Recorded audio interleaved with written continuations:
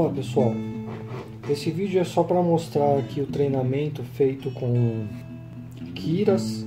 Utilizei o OpenCV para fazer a, o carregamento da imagem a partir do disco e também para ajudar a, a identificar a acurácia do reconhecimento. Bom, esse treinamento que eu fiz aqui deu 70% de acurácia. Só que realmente esses 30% dá para perceber na maioria dos casos que ele falha. Eu vou primeiro mostrar ah, o funcionamento, como que funciona. É só chamar o script, né, chamar o interpretador, o script Python e o diretório. Por exemplo, o cavalo. Aqui tem algumas imagens que reconhece, outras que não. E também eu utilizei desenhos, em várias classes eu coloquei alguma coisa bem estranha para ver o que ele identificava, se ele identificava ou não. No programa, o que acontece? Se ele identificar, beleza, ele dá o nome certo. Se ele não identificar, ele vai dar alguma coisa próxima. Então é necessário ver a porcentagem do, do reconhecimento para saber se a imagem foi validada ou não. Eu não coloquei isso ainda, vou colocar, mas agora já fiz um teste aqui, nomeando a imagem do disco com o mesmo nome da classe. Então eu comparo o nome da imagem com o que ele identificou. Se não for o que eu estou esperando, ele põe desconhecido. Se não, ele coloca no, em cima da imagem, no OpenCV, o nome do objeto ou do animal que ele identificou. Eu vou começar aqui mostrando o cavalo, por exemplo. Eu criei o um diretório chamado cavalo, coloquei as imagens dentro, pode ter qualquer nome a imagem, tá? Nesse caso aqui eu coloquei os nomes iguais justamente para fazer a validação. Vamos ver se vai ficar muito lento, porque eu estou usando a webcam, estou gravando o desktop estou usando a placa de vídeo para fazer o, o reconhecimento, estou né? usando o CUDA na placa de vídeo.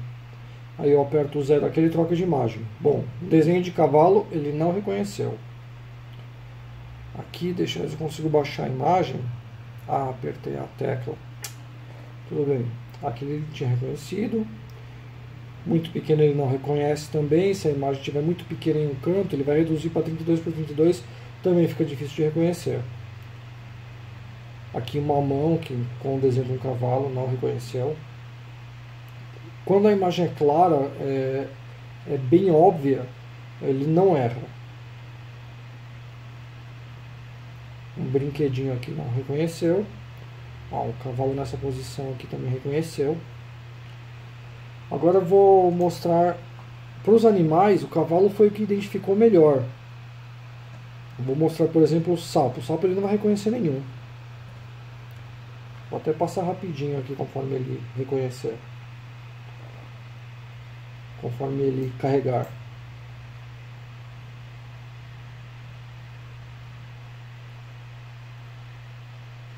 Todos desconhecidos. Mas os que ficaram melhores são os meios de transporte. Vou pegar aqui, por exemplo, o carro. O caminhão é mais legal.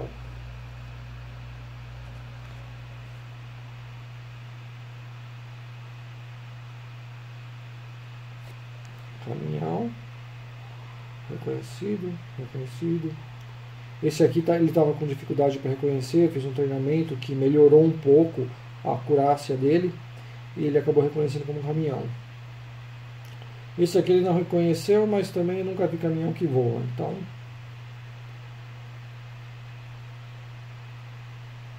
Ó, até o desenho aqui ele reconheceu, isso foi bacana.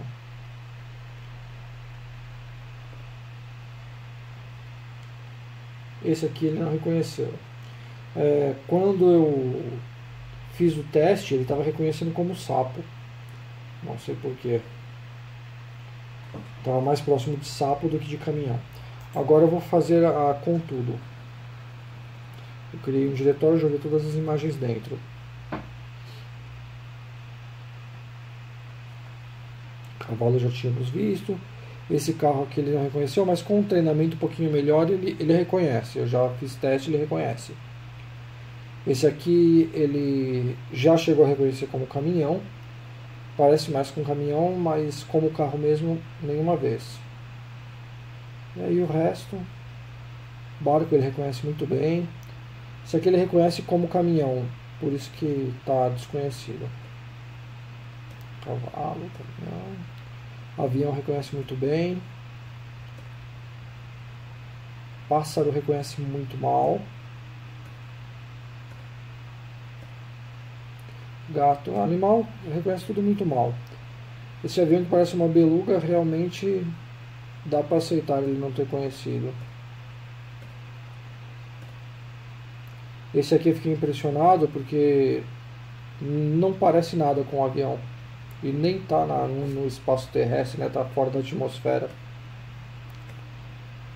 Esse aqui ele estava reconhecendo também, é só melhorar o treinamento. Esse daqui não reconheceu como avião, mas convenhamos.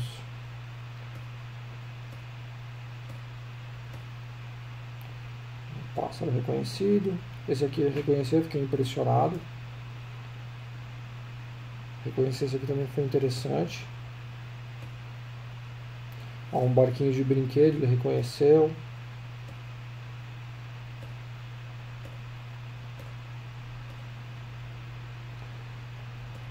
O cachorro até que não está tão mal.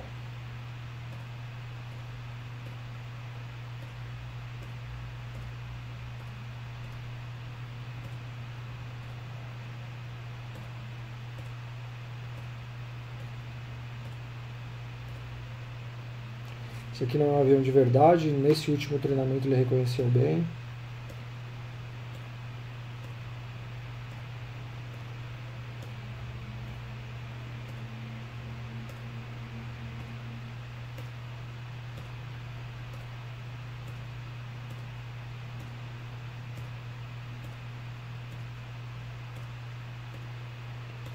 Dá pra brincar já. Já dá pra fazer umas brincadeiras.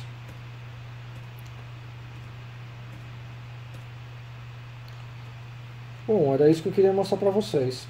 O código e o artigo relacionado estão lá no site, é só dar uma chegada lá, do bitalbyte.com.br e vocês podem pegar e utilizar facilmente. Basta configurar o ambiente, também tem o, o tutorial do treinamento completo.